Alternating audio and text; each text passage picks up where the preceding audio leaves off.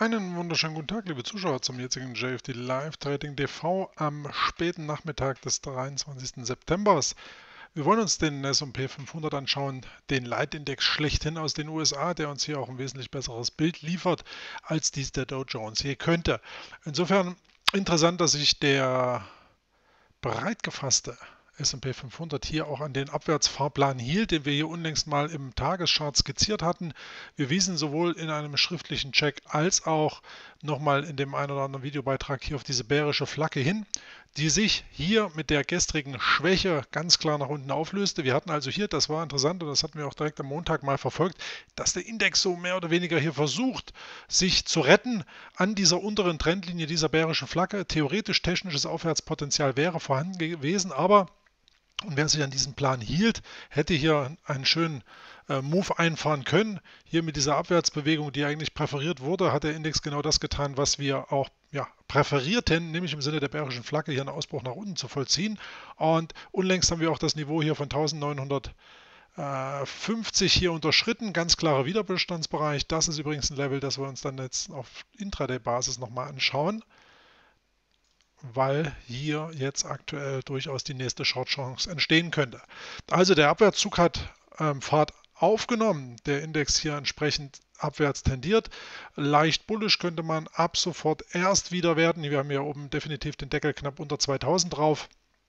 Aber kurzfristig, wenn wir hier über das Hoch, über das Wochenhoch gehen sozusagen, dann wäre hier unter Umständen weiteres Potenzial für eine Aufwärtsbewegung gegeben. Aber das ist, wie gesagt, das eher untergeordnete Szenario, welches hier zu präferieren ist. Vielmehr würde sich, und deswegen auch die aktuelle Information, Hinweis hier vom jetzigen, gut, wir haben uns vom Tageshoch schon wieder ein Stück weit entfernt, aber vom jetzigen Level ausgehend scheint hier auch wieder direktes Abwärtsmomentum möglich. Ähm, wir haben hier einen kurzfristigen Widerstand, 1950 ganz klar definierbar, 1952 roundabout plus minus 1 Punkte und das soll heißen, der Index hat jetzt hier kurzfristiges Potenzial auf jeden Fall das Tief vom 1. September anzusteuern. Das wäre hier im Bereich 1902,10. Da machen wir auch direkt mal eine Unterstützungslinie draus.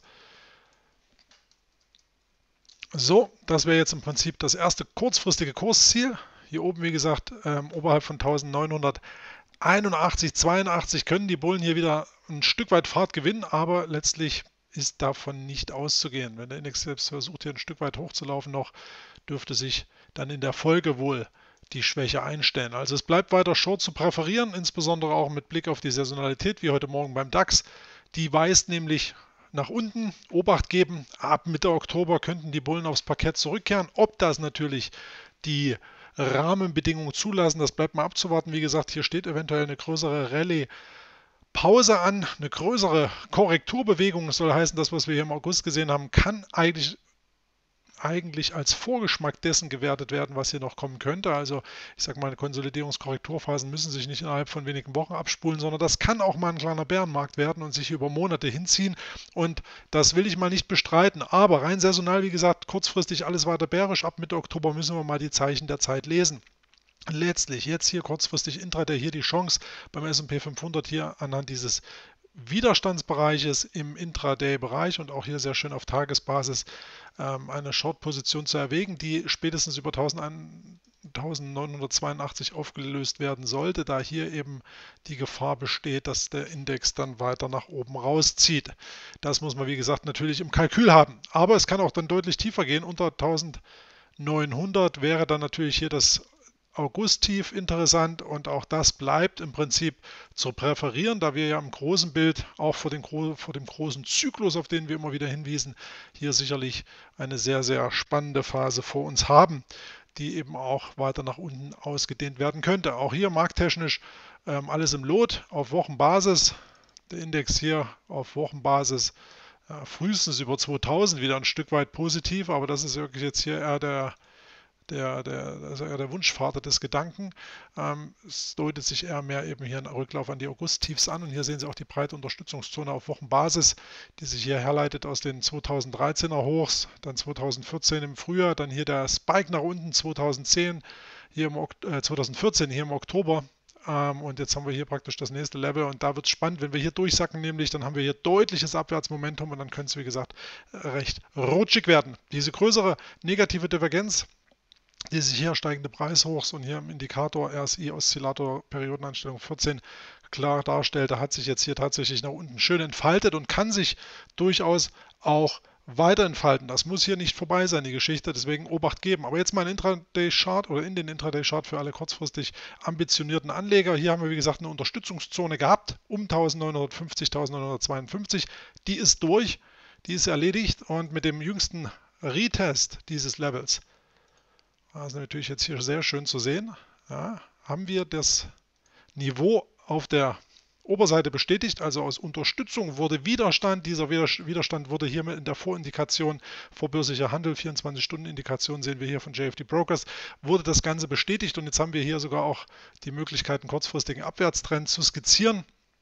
Ergo alles deutet darauf hin, dass wir hier weiter zurücklaufen. Kurzfristig könnte man sogar hier sehr aggressiv den Stopp über das Verlaufshoch der Periodenkerze hier von 13 bis 14 Uhr setzen. 1952, also hier ein Stück weit drüber, 1953 wäre ein mögliches Stop-Level, um hier äh, nicht Gefahr zu laufen, dass der Index eben dann doch nochmal auftritt. Aber ansonsten dürfte der Weg hier nach unten zeigen. Da sieht es ganz klar nach aus. Ähm, sicher ist natürlich an den Märkten gar nichts. Wenn er nämlich hier rausgeht über 1953 speziell, dann wäre hier sicherlich mehr Aufwärtsspielraum gegeben, 1980, wie ja vorhin auch schon gezeigt, Wochenhoch. Und wenn es darüber geht, dann hätte man sogar noch mehr Spielraum. Aber soweit will ich nicht greifen, weil das im Prinzip jetzt hier das eher untergeordnete Szenario ist, welchem ich hier jetzt keinen großen Zuspruch geben würde. Schauen wir kurz auf die Wochenstatistik noch zum Mittwoch. Hier heute 48% positive Schlusspreise. Das ist nicht die Welt. Der Index ja ohnehin jetzt hier, ähm, wir sehen es, ähm, bis auf den Donnerstag eher in einer Paz-Situation, die sich leicht bärisch eindreht. Ähm, wir hatten hier immer mal positive Werte, die natürlich aufgrund der jüngsten Schwächephase alles nach und nach kippt, der Donnerstag, und das wäre natürlich dann insbesondere morgen der Fall. Hier mit 61% positiver Schlusspreise ganz klar der bullischste. Ähm, ob das so kommt, Fragezeichen. Beim DAX ist es ja ähnlich, dass man hier auch ähm, sicherlich die eine oder andere Statistikanpassung vornehmen könnte. Aber wenn man denn beim S&P zum Beispiel Long-Ambitionen hat, dann bietet sich historisch gesehen mit Blick auf die letzten 52 Handelswochen der Donnerstag dafür an.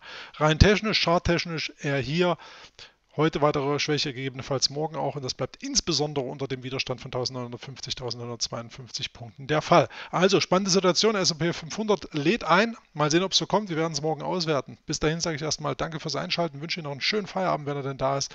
Ihr Christian Kämmerer und Tschüss.